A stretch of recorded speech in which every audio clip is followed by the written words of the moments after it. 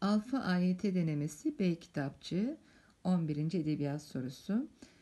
Bu dizelerle ilgili olarak yukarıdakilerden hangileri söylenebilir denmiş. Bize verilen bir e, üç beyit var.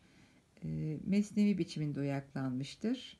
Birer ve haber e, kendi içinde, burkulu ve dolu kendi içinde, hükümleri ve yeri kendi içinde uyaklı. Yani AA, BB, CC şeklinde uyaklanmıştır ki bu mesnevinin uyak düzenidir.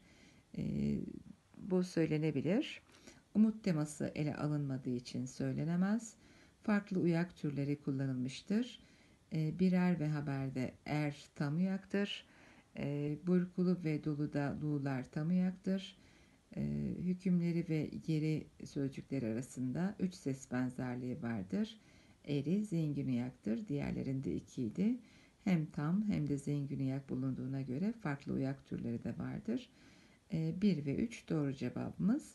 Diğer e, maddelere bakalım. Dördüncü maddede denilmiş ki ritim ve ahenk unsurları önemsenmemiştir. Hayır yanlıştır. Çünkü ritim ve ahengi sağlayan unsurlardan bir tanesi uyaktır. E, uyakları vardır bu dizelerin. E, bunlar aruzla da yazılmıştır. Ölçüsü de vardır. E, dolayısıyla önemsenmemesi söz konusu değildir. Halk edebiyatı geleneğiyle yazılmıştır denmiş. Bu da yanlıştır çünkü halk edebiyatında dörtlük nazım birimi kullanılır.